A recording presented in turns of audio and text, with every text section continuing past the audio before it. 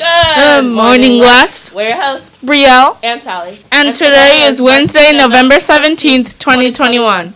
Today's weather will be 53 degrees and cloudy. Today for lunch is cheese quesadilla, corn, pineapple, and milk.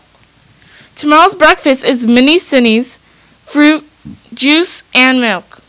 Students, remember to take your photo on the kind selfie station outside of the cafeteria.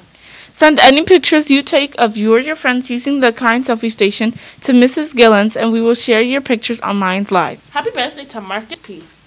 That's all for today. Thank you for watching. And have a wonderful Wednesday. And always remember, West is best.